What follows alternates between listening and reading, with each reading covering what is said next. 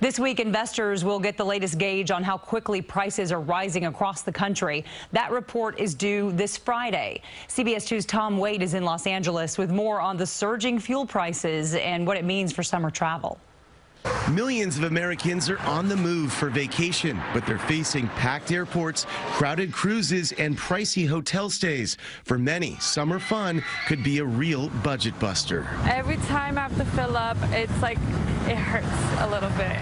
For those taking a road trip, gas nationwide is averaging 4.84 a gallon. A year ago, it was just over $3. The gas is killing me. Rental cars, if you can find one, are more expensive than before the pandemic. Hotel prices are up 42% from a year ago, and airfares 45%. For flyers, it only adds to the frustration. When I came into LAX, it was terrible. The lines were too big.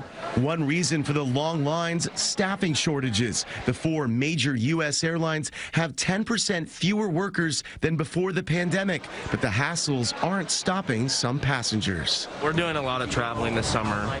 There is no relief in sight for California drivers, but in New York, drivers are enjoying a gas tax holiday through the end of the year.